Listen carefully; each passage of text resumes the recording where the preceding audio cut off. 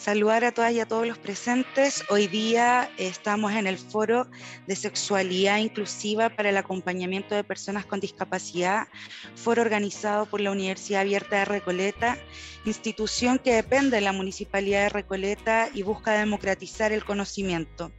Esto quiere decir que lo que busca esta institución es que las personas que tienen alguna dificultad eh, para acceder a la formación educativa eh, tradicional pueda eh, acceder, ¿cierto?, a través de estos espacios donde buscamos colaboración de instituciones y personas que quieran compartir su conocimiento y su experiencia para que la comunidad pueda acceder a algunas herramientas y aprendizaje. Y hoy día vamos a hablar de discapacidad e inclusión. Como saben, Chile es un país que está en un proceso de envejecimiento y además por las diversas enfermedades y características sociodemográficas hemos aumentado el porcentaje de discapacidad. Hoy día tenemos alrededor de un 20% de discapacidad en la población adulta y generalmente esta población históricamente no ha tenido acceso a la educación en el ámbito de la sexualidad en realidad la población en general no tiene acceso a la educación en el ámbito de la sexualidad. Chile, a pesar de que ha avanzado en el marco jurídico, teniendo alrededor de tres leyes que mm, abordan la temática de discapacidad no ha podido generar políticas públicas o una política pública en, la temática de la sexualidad y la inclusión. Tenemos la ley 20.422 que establece el marco del el acompañamiento para personas con discapacidad en nuestro país, la ley de inclusión en el fondo. También tenemos la ley Samudio que habla de la no discriminación en nuestro país y también en el ámbito educativo existen leyes que hablan de la inclusión y el acceso a la educación sexual y reproductiva. Pese a eso, eh, existe un diagnóstico compartido por gran parte de las organizaciones, tres de las cuales están hoy día presentes, que el ámbito de la sexualidad sigue siendo un ámbito no cubierto y no abordado por las políticas públicas. La Organización Mundial em, de la salud eh, establece que la salud sexual y reproductiva es un derecho y es un derecho humano. Por lo tanto, ninguna persona no debiese tener acceso a disfrutar de manera autónoma de este derecho. Eh, los organismos eh, internacionales y nuestro país firmaron una convención de derechos de personas con discapacidad y en el año 2016-2017 se monitoreó cómo Chile ha implementado la Convención de Derechos de Personas con Discapacidad y una de las cosas que más se ha cuestionado es la poca educación en el ámbito de salud sexual y reproductiva para las personas con discapacidad. Existen experiencias internacionales del acompañamiento y la asistencia para la sexualidad inclusiva y nosotros como Universidad Abierta en conjunto con Margen, con CONADIS y con CAOS queremos eh, correr la barrera y empezar a discutir, a disputar este espacio que está tan normalizado y silenciado y conversar acerca de esta temática que creemos es tan importante para la población hoy día nos encontramos con tres grandes actores y actoras que han eh, disputado em, espacios de participación en esta temática y para eso contamos con la valiosa participación de Herminda González, eh, vocera de la Fundación Margen, que es una organización que ha abogado históricamente por la protección y la defensa de los derechos laborales de las mujeres trabajadoras sexuales. Eh, y ellos van, ellas son participantes del curso que vamos a realizar posterior a este foro de sexualidad inclusiva para el acompañamiento de personas en situación de discapacidad. Te saludamos, Herminda, y agradecemos tu participación y la participación de la Fundación en esta propuesta que creemos va a ser un gran desafío para nosotros como país. Hola, Herminda. Hola. También contamos con la participación de Jaime Ra, presidente del colectivo nacional de Discapacidad CONADIS es un modo de personas y organizaciones de todo el país en torno a la defensa y la reivindicación de los derechos de las personas con discapacidad. Gracias Jaime por estar hoy día presente y espero un, buen diálogo. Y finalmente contamos con la participación de Richard. Eh, Richard es eh, profesor de educación diferencial con mención en discapacidad intelectual, licenciado en educación y además magíster en Derecho Internacional de los Derechos Humanos. Él además es cofundador de la Fundación, eh, Caos y hoy está acá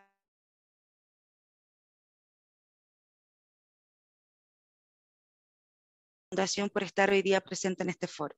Hola, hola, buenas tardes. Y bueno, para dar el marco general, vamos a conversar en torno a tres preguntas. Los participantes tienen alrededor de cuatro minutos para responder cada pregunta y después vamos a responder algunas preguntas que puedan eh, surgir de las personas que están participando.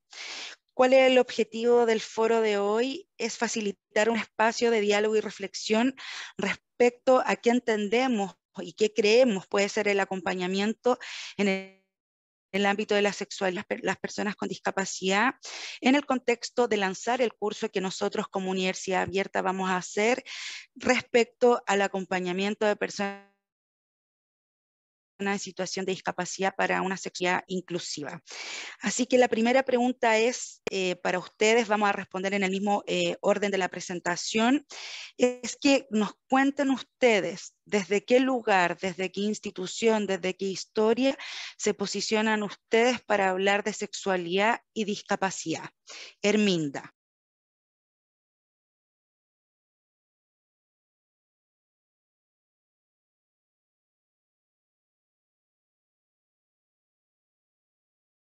Ay, sí. Hola, disculpen, pero la tecnología como que nos pide en un momento con los nervios. Eh, buenas tardes a todas, a todos y a todes. Es un agrado de poder estar con ustedes acá. Bueno, nosotras como Fundación Margen eh, nos situamos desde el aprendizaje, del querer realizar este taller con nuestras compañeras, porque creo que es muy importante abrirnos, eh, aprender, y, a compartir saberes de, desde, desde la sexualidad, porque todos tenemos, una, eh, tenemos derecho a los derechos sexuales y reproductivos pleno y placenteros. Desde ahí nos paramos. Muchas gracias, Hermi. Consultarte respecto a cuántos años lleva la Fundación Margen y cuáles han sido los principales espacios de trabajo que han tenido ustedes como fundación.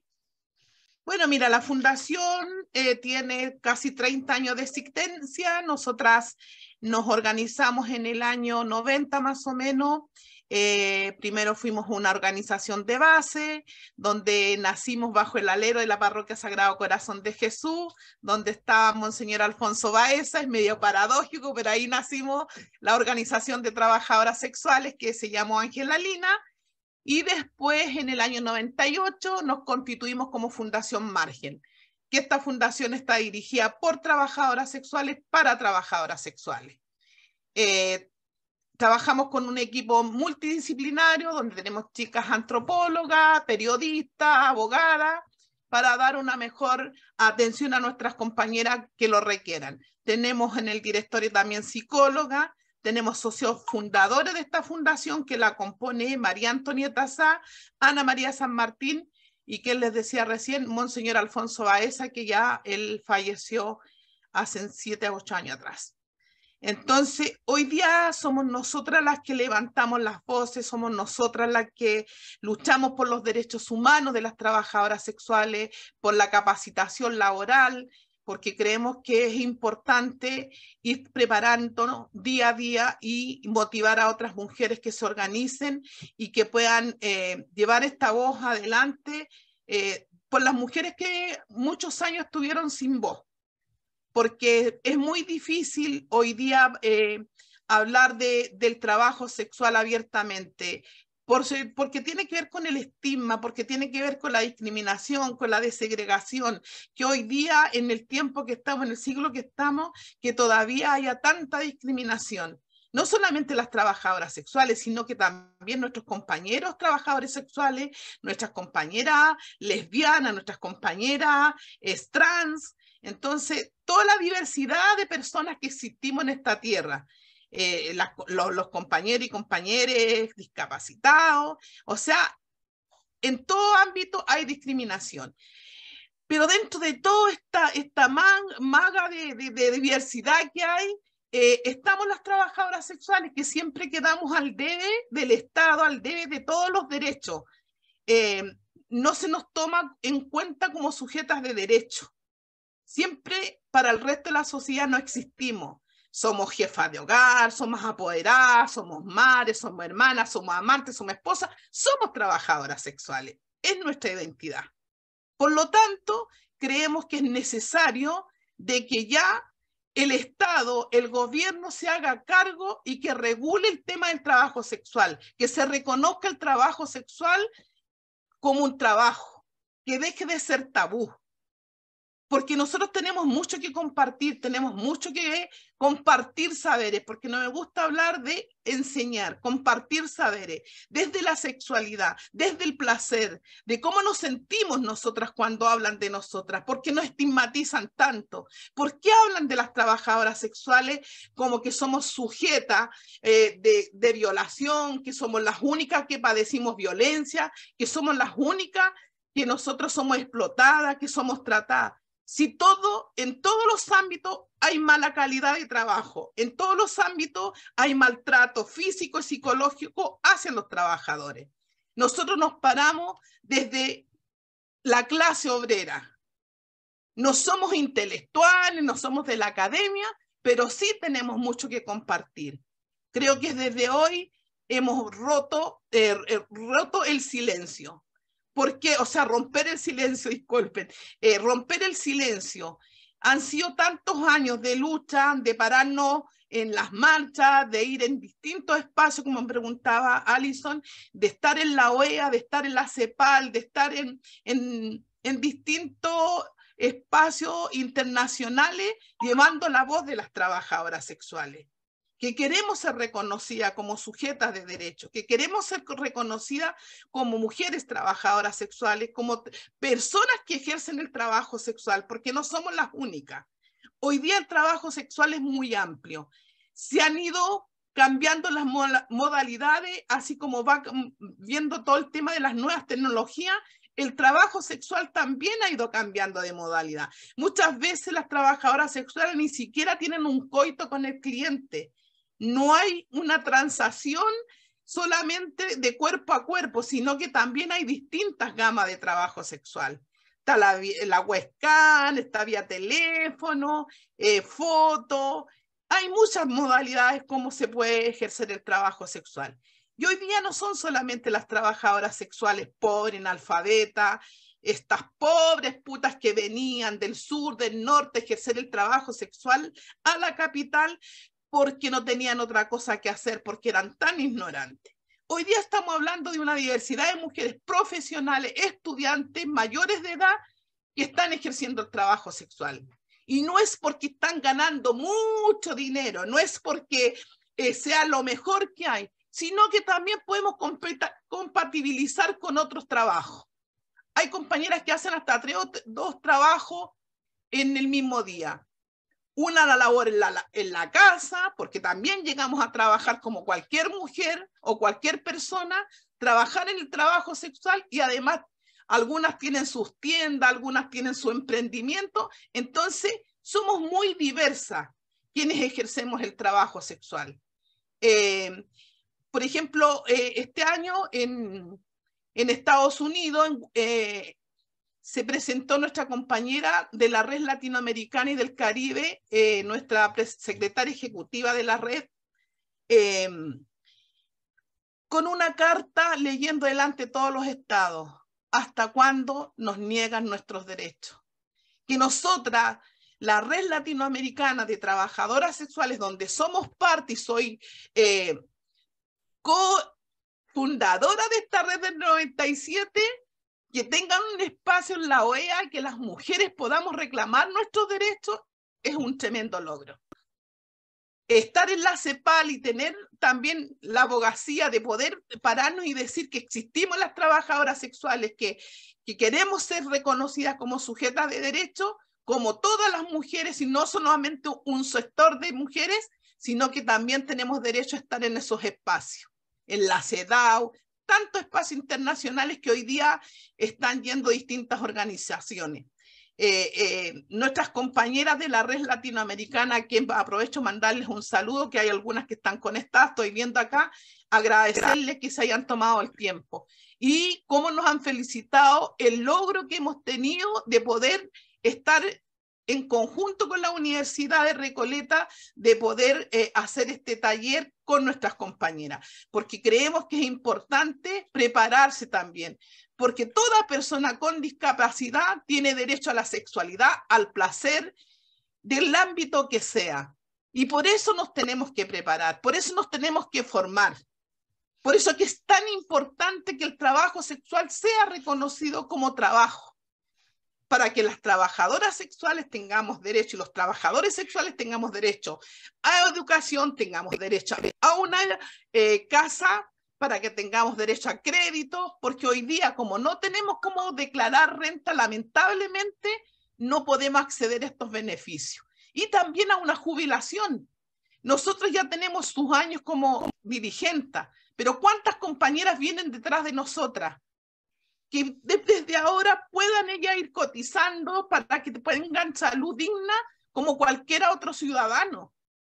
Porque hoy día esos derechos se pierden total la negación de excluirnos en tanto eh, desde el gobierno, que es un gobierno feminista, que es un gobierno que está eh, ha hablado sobre el tema de la regulación del trabajo sexual, que es parte de su, de su, campaña, cosa que hoy día no hemos logrado nada. Hemos tenido unos pequeños acercamientos con algunas ministras, dos o tres ministras, y algunos diálogos que hemos tenido, de aquí después no me acuerdo si existieron las trabajadoras sexuales.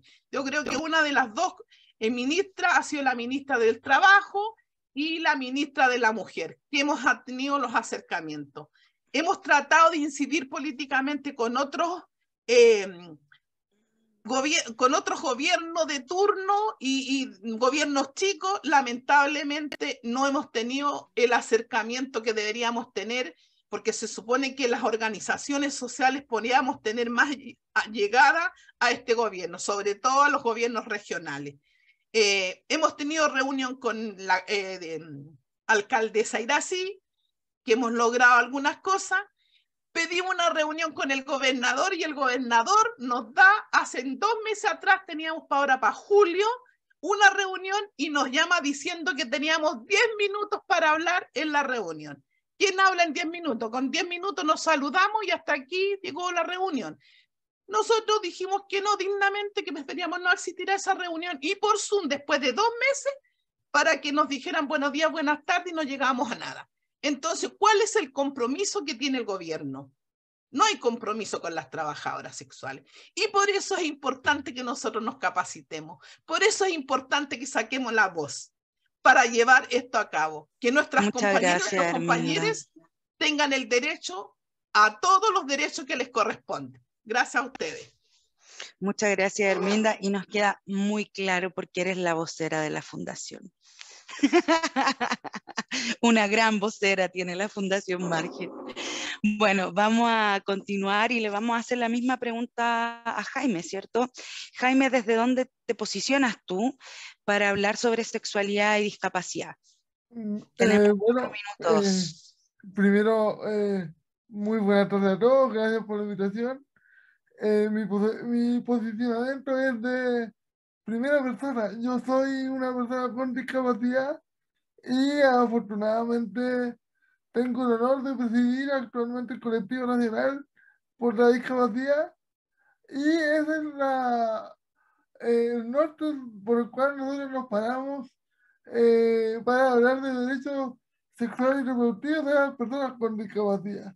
Eh, como tú lo decías bien en la presentación, hay una deuda histórica con las personas con discapacidad a todo nivel, más aún si lo pensamos en términos de derechos sexuales y reproductivos. Eh, las personas con discapacidad, en promedio, en este país, ni siquiera culminamos la educación media en promedio.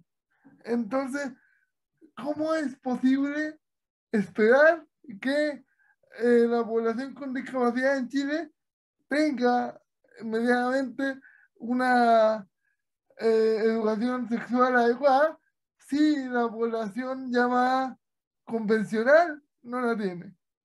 Entonces, a partir de ahí, hay una, una desventaja estructural que se expresa en todos los ámbitos de la vida social, más aún en el ámbito de los derechos sexuales y reproductivos, siendo Chile un país tan eh, conservador. Por eso, como, como colectivo nacional por, la, por los derechos de las personas con discapacidad, eh, no paramos desde la perspectiva de, los derechos humanos. Y en esto eh, coincido con lo que Herminda planteaba previamente, de que la sexualidad es un derecho. Y las personas con discapacidad tenemos derecho a luchar por, e, por ello. Y es, es, un tema que eh, probablemente vamos a profundizar más adelante, pero el trabajo sexual existe. Eh, eh, ocurre en este país todos los días. Y las personas con discapacidad somos usuarios de ese trabajo sexual. Y um, lo más complejo de eso es que muy habitualmente el primer acercamiento a un vínculo sexo, sexo afectivo de una persona con discapacidad es con una trabajadora, con una trabajadora o trabajador sexual, sin haber tenido una educación sexoafectiva previa, digamos. Entonces, como muy bien Herminda decía, la trabajadora sexual tiene que muchas veces jugar el rol de educadora para con la propia persona con discapacidad en términos de desarrollo eh, sexoafectivo de esa misma persona, porque la, la exclusión del mundo social de las personas con discapacidad en el mundo y en este país es tan brutal que ni siquiera estoy hablando siquiera del coito, digamos, o de, de una relación sexual de penetración, si se quiere en términos más explícitos. Las personas con discapacidad muchas veces no tenemos ni siquiera un contacto afectivo cotidiano. Como el hecho de sentirse querido para muchas personas con discapacidad es algo que no ocurre habitualmente. Las personas con discapacidad, y esto lo decimos con mucha franqueza para aquellos que no conocen, hay un gran porcentaje de personas con discapacidad que no salen de su casa habitualmente. Salir de su casa es un privilegio que se lo pueden dar tal vez una vez al año y no estoy exagerando con eso, digamos hay personas con discapacidad que no conviven en la comunidad. Y por eso mismo, eh, cuestiones tan importantes como la asistencia personal está consagrada eh, en, el, en la Convención Internacional de los Derechos de la Persona con Discapacidad. De hecho, si uno lo plantea, en el artículo 19, inciso D de la Convención, plantea eh, que la asistencia personal es un derecho de la persona con discapacidad para el ejercicio pleno de su vinculación con la comunidad. Y ojo, la asistencia personal se plantea en la convención a lo largo de toda la, el documento porque se entiende la asistencia personal como una herramienta habilitante de, de derechos, en su sentido amplio de la palabra. Si bien la, la convención no habla de la asistencia sexual propiamente tal, sí habla de la asistencia personal como una herramienta habilitante de derecho. Y como último eh, punto de esta palabra, quisiera abordar que nosotros también entendemos eh, el tema de hablar de asistencia sexual como eh, una cuestión de salud pública, tanto como para las trabajadoras sexuales que trabajan con personas con discapacidad, pero también con la trabajadora sexual. El trabajo sexual existe, las personas con discapacidad habitualmente eh, utilizan el trabajo sexual como su acercamiento a su propio desarrollo y exploración de derechos sexuales y reproductivos. Y eso el Estado tiene que hacerse cargo. Si la gente no lo sabe tampoco, en los sitios donde se buscan directamente eh, trabajadores sexuales en Internet, eso no es secreto para nadie, hay un apartado en cada uno de estos sitios donde se dice específicamente se trabaja con personas con discapacidad. Pero ese es efectivamente el único elemento que una persona con discapacidad puede saber si realmente va a tener una experiencia adecuada o no con una trabajadora sexual. Muchas de las personas con discapacidad eh, es una plena lotería su experiencia eh, con una trabajadora sexual porque evidentemente nadie les apoya respecto de eso.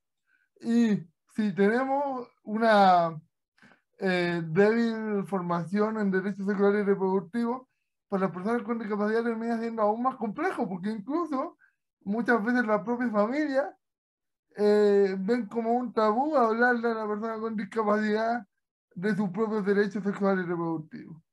Porque, eh, digámoslo, ¿no? También de nuevo, bueno, todos ustedes acá conocen el tema, pero las personas con discapacidad, aun cuando tengamos 50, 80 años, no infantilizan. Entonces, es muy difícil hablar de nuestro propio cuerpo, del deseo, siendo persona con discapacidad. Y eso lo han habilitado el propio vínculo que en otros países se conoce como asistencia sexual o el vínculo que existe acá en Chile con las trabajadoras sexuales que eh, frecuentemente se vinculan con personas con discapacidad, porque conociendo el mundo de los compañeros que yo habito, digamos, eh, el trabajo con asistentes sexuales o con trabajadores sexuales de las personas con discapacidad en el Chile de hoy no es algo nuevo, es algo que ocurre y el Estado de Chile tiene que hacerse cargo. Eso diría. Perfecto, muchas gracias Jaime por compartirnos desde donde tú te posicionas para este espacio de, discusión y diálogo. Y ahora nos gustaría invitar a Richter que nos cuente un poco de cómo llega a abordar esta temática. Bueno, primero que todo agradecer la, invitación. Me siento muy honrado de estar en esta instancia y también de haber llegado a este punto que, que partió con algunas conversaciones por ahí que se ha ido materializando ahora eh, he tenido la posibilidad de estar con las compañeras ahí de Fundación Margen y también, bueno, a través de sobre todo las redes sociales y otros encuentros con compañeros, compañeras y compañeros de, de CONADIS. Y eh, personalmente, bueno, yo llego a las sexualidades primero por un tema de autoconocimiento. Como persona no heterosexual, eh, tuve la, la, posibilidad a lo largo del tiempo de ir accediendo a diferentes materiales y poder entender primero lo que, me, lo que me pasaba, lo que yo sentía, poder conocer a otras personas, de ahí llegar también al activismo, poder encontrarme con gente que está organizada a través de organizaciones, agrupaciones, corporaciones, fundaciones, etcétera, y eh, que buscan justamente un trabajo en relación a la reivindicación de derechos, un trabajo que tiene que ver con también la memoria histórica, poder reconocer cuántas personas han estado antes que nosotros para poder llegar a lo que estamos viviendo ahora, para poder gozar de estos derechos, que si bien todavía no son los suficientes, pero obviamente que si podemos comparar, eh, se ha notado un avance. Al mismo tiempo, como profesor de educación diferencial, me, ha tocado estar compartiendo directamente con niños, niñas, niñas, adolescentes y también personas jóvenes y adultas, sobre todo en situación de discapacidad intelectual o del espectro autista, y ahí me he dado cuenta que em, muchas de estas personas no tienen la posibilidad de contar eh, con un apoyo más directo en los equipos profesionales o a veces los espacios familiares para poder contar lo que les pasa. Eh, por lo mismo también en el año 2018 eh, empezamos a crear esta, esta, agrupación que se llama CAOS, Centro de Acompañamiento, Apoyo y Orientación Sexual, y en, en los inicios justamente había muchas personas, entre ellas personas de educación diferencial, que se em, identifican con el concepto de diversidad funcional, ¿sí? Y de ahí surge también esta idea de poder agruparnos a hablar de las sexualidades de una mirada mucho más amplia, como también decían por aquí los compañeros y compañeras, no solamente desde la actividad sexual, sino que todo lo que involucra la identidad, las relaciones interpersonales, el enfoque de derechos, también el, poder entender desde los diferentes espacios espirituales, culturales, políticos, etc.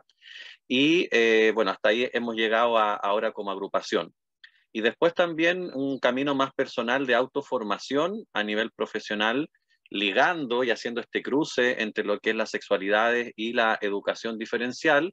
Ahí llegué a conocer a la compañera, eh, colega y maestra Silvina Peirano, compañera argentina, que también gracias a ella estamos aquí porque ha hecho esos nexos.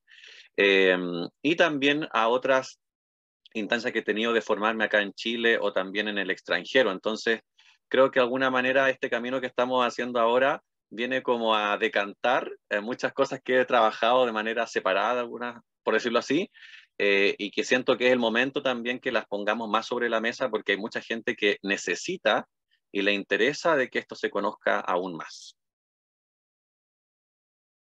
Muchas gracias, Richard. Y, mm, en, en, la perspectiva más mágica podría decir que la historia, los caminos van confluyendo, ¿cierto? A que todos podamos ser antes.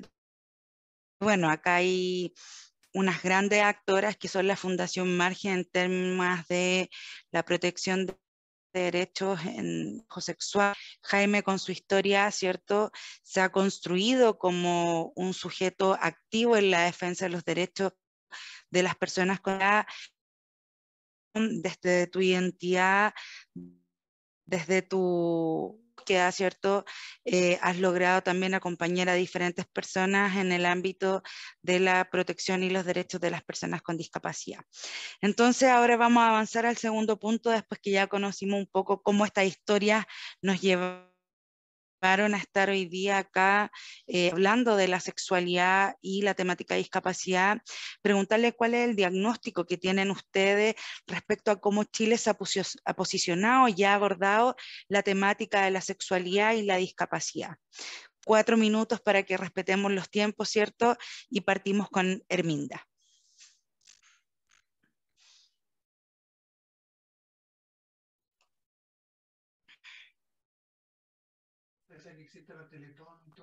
Hola, ahí sí. Eh, bueno, lamentablemente acá no se integra la discapacidad en nuestra sociedad. los invisibilizamos totalmente, como decía el compañero, nos infantilizan. Entonces es complejo porque ni siquiera en la Teletón eh, tienen el, el placer de poder tener una sexualidad plena, porque deberían haber personas ahí apañando esa parte. Y es lamentable que todavía en el tiempo que estamos no se pueda eh, realizar. Solo eso. Jaime, ¿cuál es tu postura? ¿Cómo tú evalúas que se ha abordado la temática de la sexualidad y la discapacidad? Eh, evidentemente nuestra postura es que el Estado chileno tiene una deuda con los niños, niñas y adolescentes sin situación de discapacidad en función de proteger sus derechos sexuales y reproductivos, más aún con la población con discapacidad, porque la población con discapacidad siempre ha sido los últimos en la ciencia. Siempre ha sido así y bueno, me carga tener que hablar del tema de la Teletón cada vez que se habla de discapacidad, pero siempre sale Herminda dijo o tocó el tema de la Teletón y es precisamente eso, la gente cree que la Teletón es el apoyo cuando realmente eh, quienes nos paramos desde un punto de vista crítico, hemos visto a la Teletón en tanto show televisivo como el problema en cómo se ha constituido el sujeto eh, eh, con discapacidad. El sujeto con discapacidad en Chile es eh, visto como sujeto de la calidad, como sujeto infantil. Muchas de las personas con discapacidad plantean que las personas con discapacidad son niños porque su vínculo con la discapacidad tiene que ver con la Teletón. El porcentaje más reducido de personas con discapacidad son niños para, la, eh, para que la que entre los demás, digamos. Hay una relación evidente entre envejecimiento y discapacidad, por ejemplo. Es decir, es muy probable que todos en algún momento de nuestro día nos acerquemos más potencialmente a estar en situación de discapacidad. Y, miramos con mucha preocupación el hecho de eh, la deficiencia respecto del apoyo en derechos sexuales reproductivos de las personas con discapacidad, porque en mi criterio es un elemento muy clave de protección de las propias personas con discapacidad, porque eh, somos sujetos de vulneración por múltiples, múltiples vías. Hay muchas personas con discapacidad que tenemos diversas deficiencias, que nos hablan, que tienen déficit cognitivo, etcétera, etcétera, etcétera. Y esas personas tienen que tener, por el propio hecho de proteger su dignidad, formación en sus derechos sexuales y reproductivos, para saber cómo responder en caso de una situación de vulneración.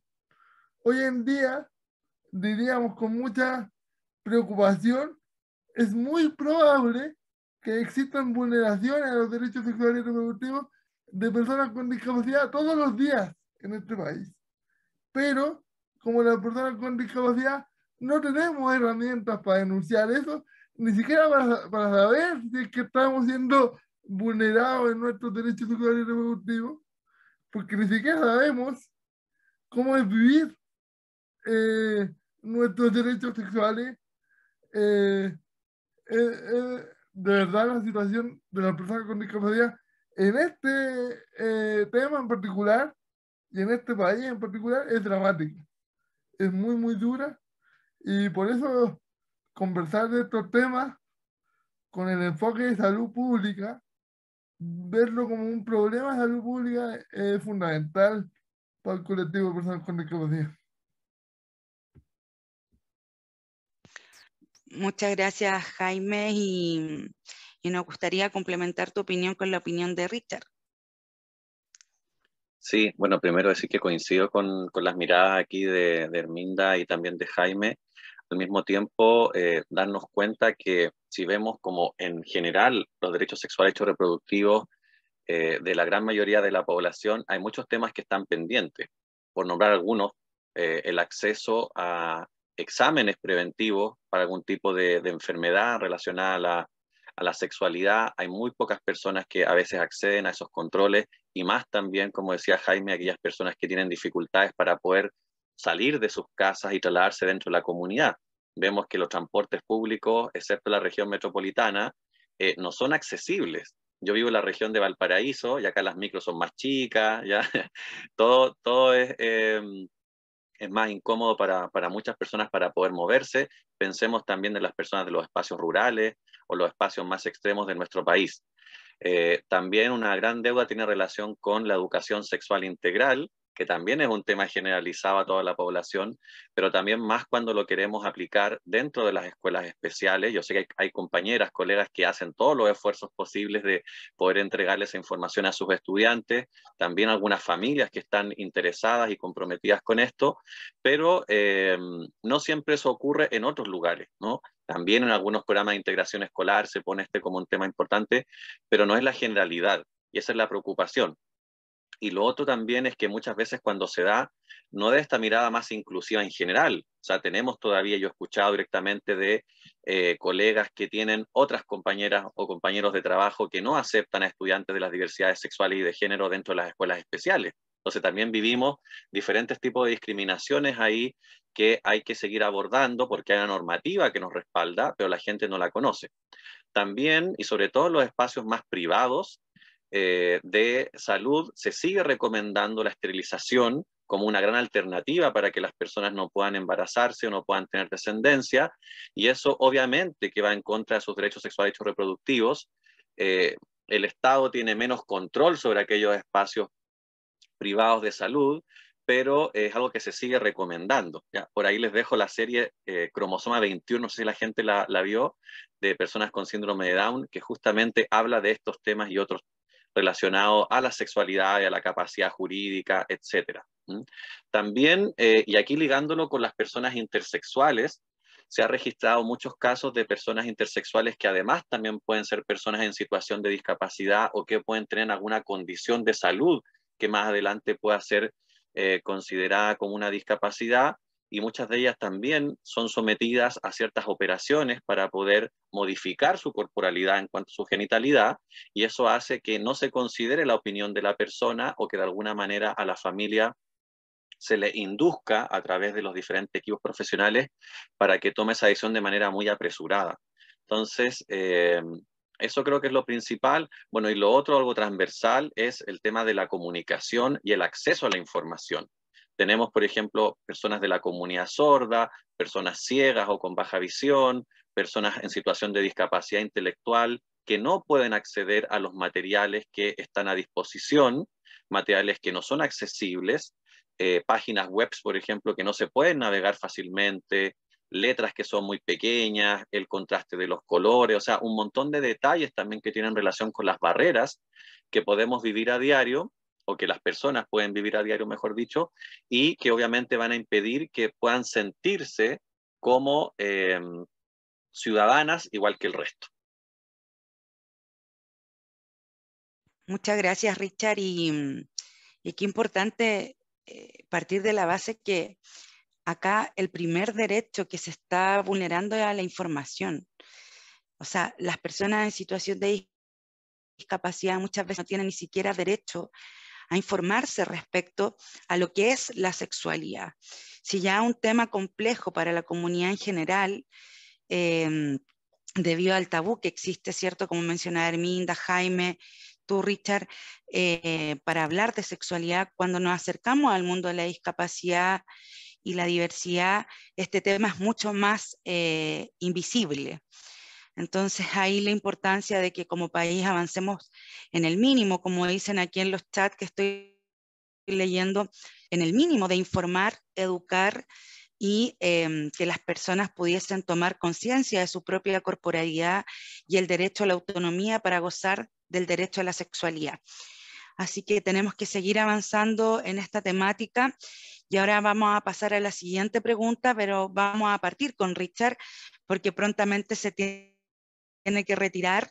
Así que vamos a hacer la última pregunta que es respecto a cuando supiste este curso, ¿cómo visualizas tú que este puede aportar en la temática de la sexualidad e inclusión y también qué debemos hacer para avanzar en este tema más allá como organizaciones, como fundaciones, como colectivos. primero, eh, yo creo que siempre es un valor democratizar la información o los saberes, como decía Arminda, entonces que esté disponible de manera gratuita es muy, muy valioso.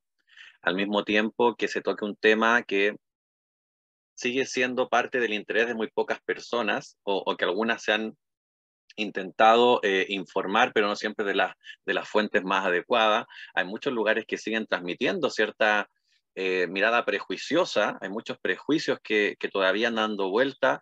Eh, primero, como decía la compañera, hace la población de las trabajadoras y trabajadores sexuales y además, en este caso, hace las personas con discapacidad o en situación de discapacidad o con diversidad funcional. Por lo tanto, tenemos que también trabajar ahí eh, un montón de barreras actitudinales que encontramos en los diferentes espacios comunitarios, dentro de las familias también, para que las personas puedan acceder, por ejemplo, a este servicio eh, y también que las compañeras puedan saber en qué consiste para ver si también lo quieren considerar dentro del servicio que puedan prestar. Y por otro lado, los equipos profesionales, que si no conocen esto, ahora yo sé que hay mucha gente del ámbito de la salud, de la educación y de otras disciplinas que están muy eh, interesadas en esto porque escuchan a sus, entre comillas, pacientes, o mejor dicho, usuarios, usuarias o usuarias, escuchan a sus estudiantes y se dan cuenta de que esto es un tema urgente, es un tema eh, relevante y por lo tanto tenemos que hacernos cargo de él, tenemos que sentirnos como personas más preparadas eh, y también lo digo con la educación sexual integral, o sea, las familias tienen que tener mayor información porque si no están bien informadas, ¿cómo van a transmitir a sus integrantes, cómo van a criar de mejor manera, van a acompañar ese proceso y al mismo tiempo cómo las comunidades educativas o cómo los espacios de salud van a poder entregar un mejor servicio. Y por sobre todo, cuando trabajamos del ámbito público, el ámbito municipal, SLEP o los CESFAM, hospitales, etcétera, cómo vamos a ver a la persona como una eh, persona con sujeto de derecho y también que estamos cumpliendo el rol del Estado, ¿sí? Tenemos que garantizar, asegurar y promover también los derechos. Tenemos que empoderar a las personas para que después ellas no dependan de nuestra intervención, sino que sean capaces de, poder, eh, más adelante, sobre todo en la vida adulta, de poder exigir esos derechos vayan donde vayan. Y em, creo que este curso, si bien va a ser cortito y vamos a intentar poner toda la información que, que, que podamos compartir por ahora, va a ser un muy buen inicio para aquellas personas que no están involucradas en el tema y también va a ser eh, una buena forma de ordenar cierta información que quizá hay gente que la ha ido revisando de manera como más desordenada, entre comillas. Muchas gracias, Richard. Agradecemos tu participación. Sabemos que te tienes que ir a dar una clase por ahí. Quedaremos atentos a las preguntas y la iremos respondiendo con tiempo. Y nos vemos ahí en la implementación del curso. Eso, nos vemos en el curso. Así que muchas, muchas gracias. Y, luego ver el video para saber lo que me perdí. Ya. que estén muy, muy bien. Chao, chao. Gracias a ti. Bueno, continuamos. Germinda, cuando supiste de la posibilidad de, diseñar este curso, ¿cómo crees tú que este podría aportar a la sexualidad y las personas en situación de discapacidad? ¿Y qué crees tú tenemos que seguir haciendo para avanzar en este tema?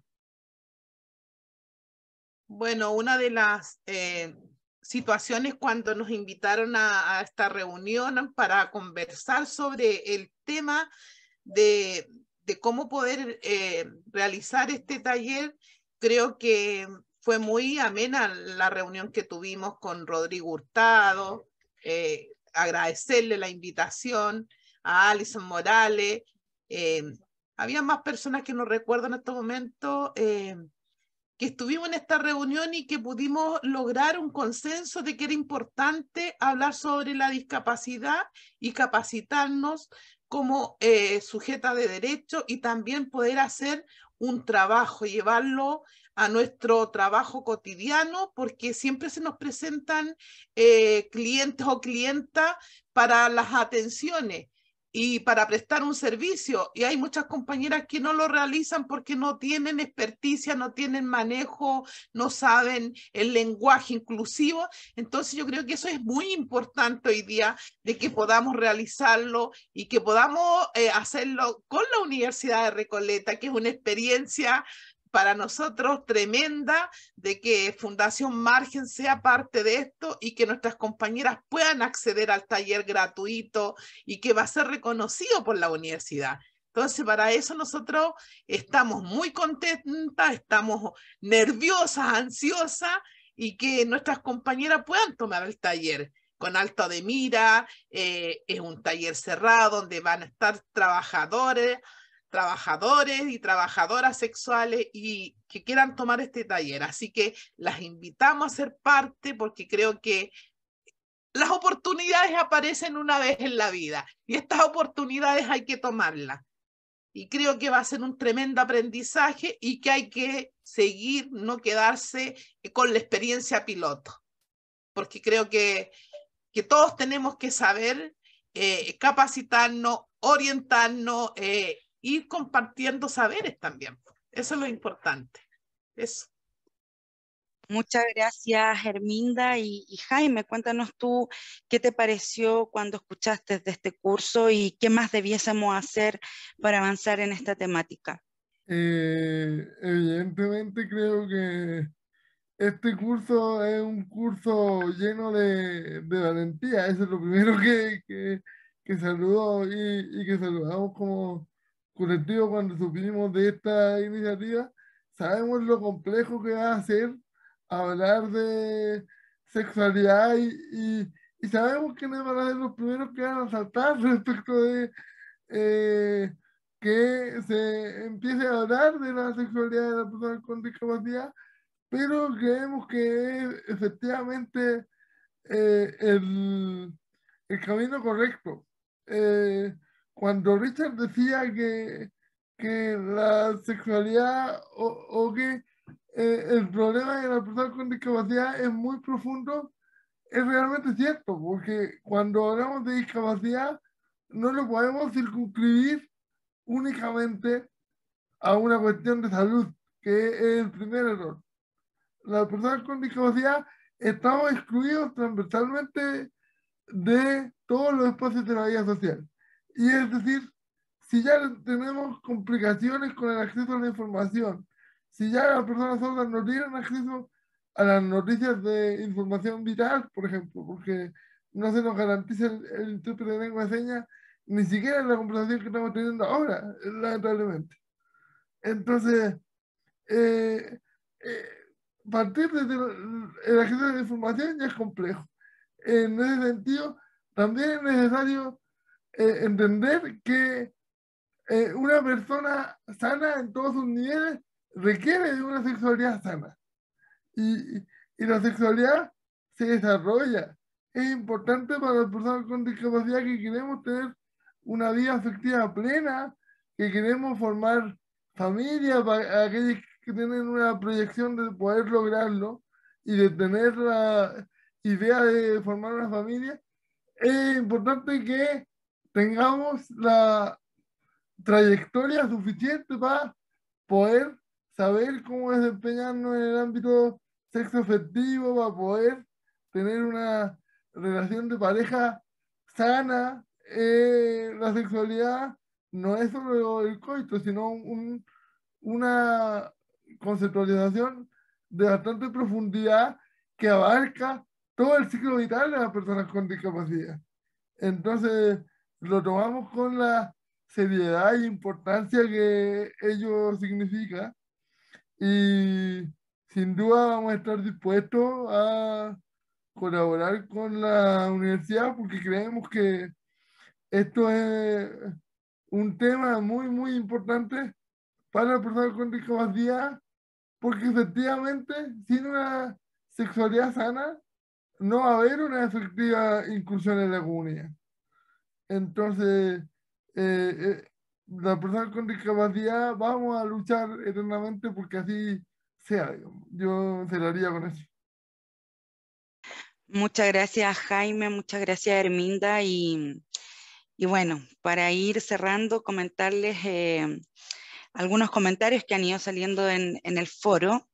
Em, nos habla, por ejemplo, Geraldine, que es directora de la Fundación Infinity, terapeuta ocupacional y refiere lo importante que es destacar que la sexualidad debiese ser accesible de manera universal, que generalmente eh, se habla de la accesibilidad universal, pero en el fondo no se comprende que la sexualidad es parte de esto. Eh, Claudia, que es terapeuta sexual, nos refiere que los terapeutas que están en este ámbito llevan muchos años trabajando para que sea parte y se integre la educación, pero ha sido muy difícil que esto suceda. Eh, nos preguntan cómo se debiese acceder a este curso y cuál es el nombre del curso. El curso se llama Acompañamiento... Eh, es un acompañamiento, ay, se me fue el nombre del curso, pero es el acompañamiento para, es un taller para el acompañamiento eh, de la sexualidad para personas en situación de discapacidad. Ahora, cualquier información que quieran saber del curso, la página de la Universidad Abierta, uar.cl, está em, difundiendo la información del curso en todo momento. El curso va a tener cuatro talleres, cuatro módulos online, los cuales pueden eh, acceder las personas más allá de la territorialidad, lo que sí va a tener cuatro talleres presenciales, los cuales van a estar cerrados para la Fundación eh, Margen primeramente. Comentarles que dentro del curso vamos a revisar diferentes ámbitos. Obviamente, lo primero que vamos a revisar es eh, teorías del hecho sexual y los derechos sexuales de las personas con discapacidad. Después vamos a tener un marco conceptual respecto a la concepción de discapacidad, los tipos de discapacidad existentes, derribando brechas, o sea, mitos y prejuicios respecto a la sexualidad y finalmente un módulo de herramientas eróticas inclusivas que tienen que ver no solamente, como decían todos en, durante este proceso, acá nosotros no estamos hablando del coito propiamente tal, estamos hablando del erotismo, del placer, del autoconocimiento, de comprender lo que es el cuerpo y el derecho al placer. Así que invitarlo a que conozcan el, curso que... Eh, revisen la página uar.cl en donde nosotros vamos a estar difundiendo la información, al igual que a través de nuestras redes sociales de Instagram, Facebook y em, Twitter, en donde se está difundiendo información acerca del curso. Em, finalmente, agradecer la participación de todos, todas y todes Comentar que pese a la complejidad de la hora, contamos con alrededor de 90 participantes durante el foro, lo que habla de la relevancia y la importancia de la temática que creemos hoy día damos un pie o un salto inicial para empezar a discutir. Así que agradecer la participación de todos, como les mencionaba, todos todas y todos y comentarles que tenemos muchos comentarios favorables respecto a que están muy contentos con el, el espacio de conversación, de diálogo y que tienen mucha eh, como expectativa respecto a cómo va a ser el curso. Así que lo invitamos a estar partícipe. Una matrona también eh, nos dice que le parece maravillosa esta instancia, em, que quieren participar, que están expectantes. Así que nada, pues a darle eh, con todo a este espacio. Esperemos que no sea solo un espacio, un piloto, sino que logremos instalar este, este tema en, nuestro país que sabemos es un gran desafío. Un beso para todos y para todas, para todos un abrazo y estamos eh, conversando y informándonos respecto a lo que vamos a seguir haciendo en derechos sexuales y discapacidad e inclusión desde la Universidad Abierta de Recoleta. Un saludo.